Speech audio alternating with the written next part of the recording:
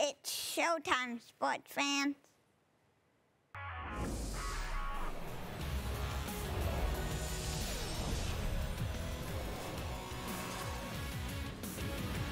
I want to welcome you to a very special edition of SportsCentre with Jay Onrait and my new co-host Jasper Campbell. Jasper, you look fantastic. Where'd you get that suit?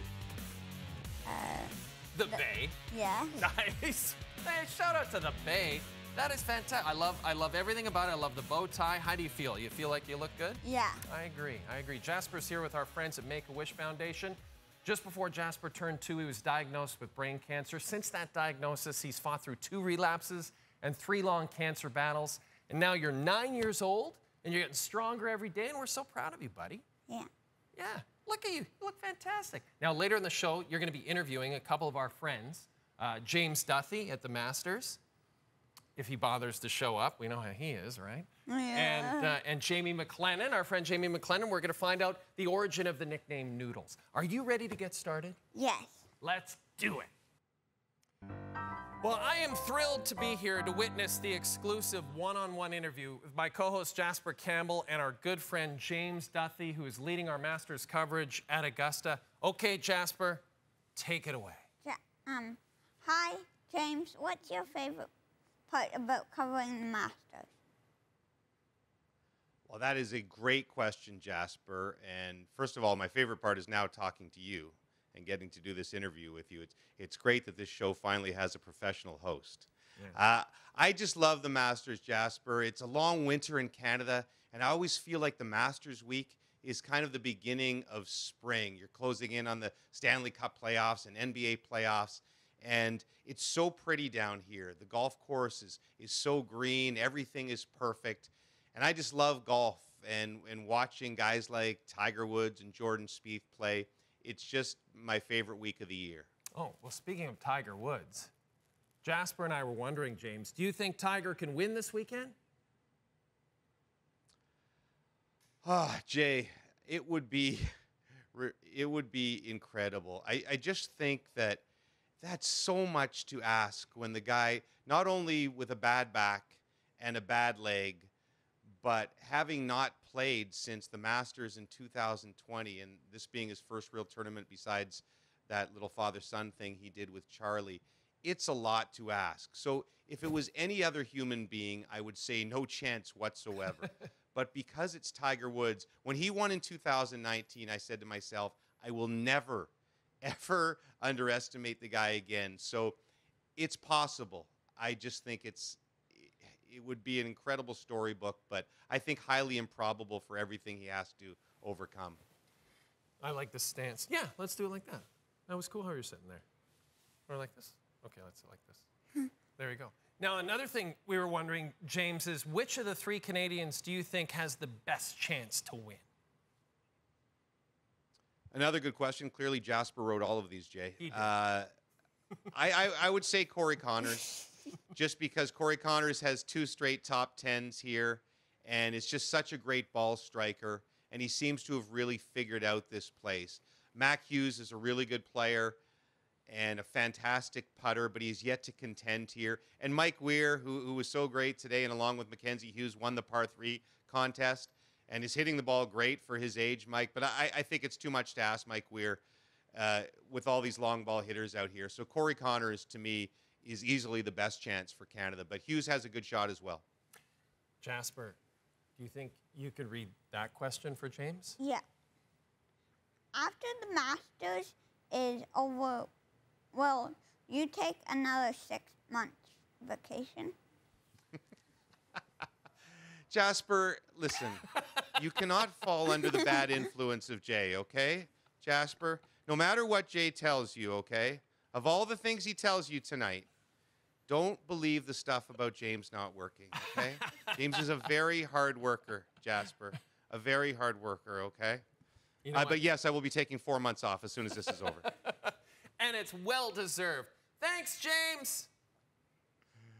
Uh, thank you very much, Jasper, and thank you, Jay. That was a lot of fun. And uh, that has been Jasper interviews our friend James Duthie. Tampa Bay has one. what? that Jasper, you blew it segment.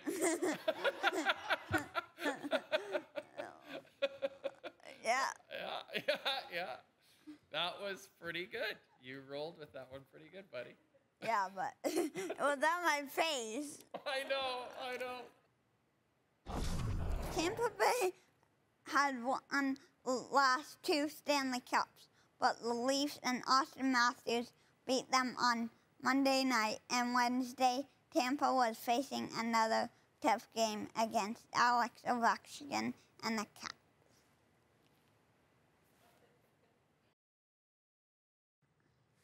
Having fun, buddy? Yeah. Okay, well, guess what? I'm going to tell you about something really cool. It's the NBA's 75th anniversary, and the Nets and Knicks game on E ESPN2 Wednesday used graphics from basketball telecasts of the 60s, 70s, 80s, and 90s. What are the 90s? Good question, buddy. Let's find out.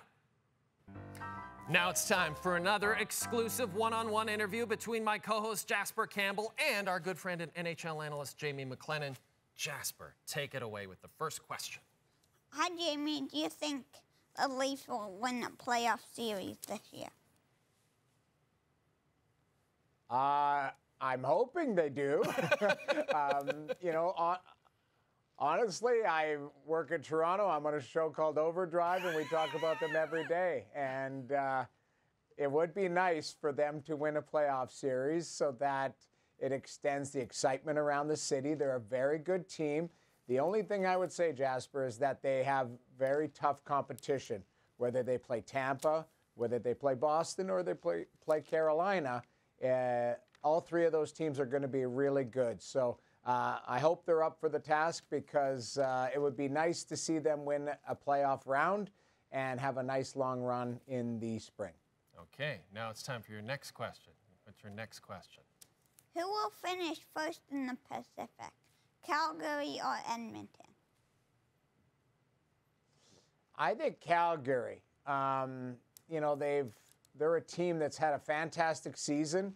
Edmonton started 16 and 5, then they had a really tough patch where it was about 16 games where they didn't win a game, and now they're on fire again. But uh, Calgary's been a little bit more consistent. I think they have a couple games in hand. So I'm going to say the Calgary Flames are going to win the, uh, the Pacific. Does Winnipeg still have a chance to make playoffs? Uh, I want to say yes. I'll, I'll be honest, Jasper. I chose them as a team that was going to be really dangerous this season, and it just hasn't been their season. They've had a really tough uh, time with COVID. They've had some injuries, some inconsistencies, and I don't even know if they're going to be able to beat Detroit Red Wings tonight. So it's. Uh, I'm going to say that they're not going to be able to make the playoffs just based on them being seven points out, and I don't know if they're going to get a couple points even as we speak. How did you get the nickname? The Noodles nickname. My nickname, Noodles, Yeah. Holy smokes, that's a tough question. um, when I played junior hockey, I we used to stop at these tiny little places to eat uh, on the road, and they would always give me indigestion.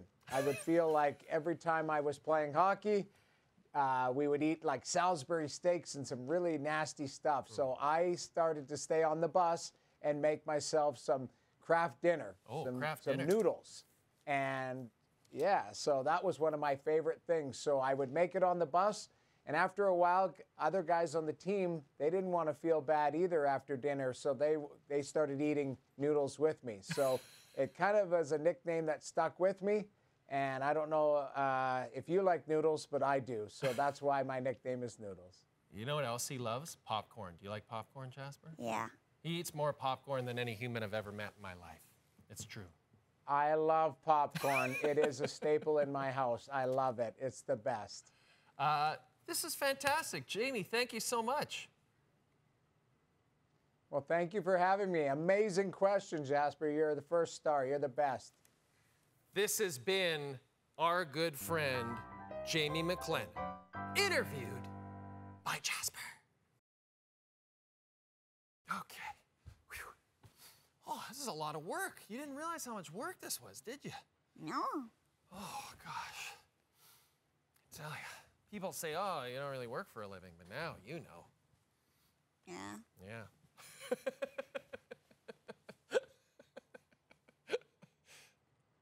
Jasper, you're a fan of the show, right? Yeah. Hmm. Are you a fan of the top 10? Yeah. Yeah. Will you join me for the top 10 plays of the last season of Major League Baseball after the break? Yeah. All right! It's showtime, sports fans! Are you sure you haven't done this before? Yeah. Oh, Well, okay. I do it at home, so. Oh, oh, yeah. Well, it, it shows. You're really good at it. Yep. You think maybe you want to take my job someday? Sure. Perfect. Can you wait a few years? Yep. All right, good. I don't know if I trust them.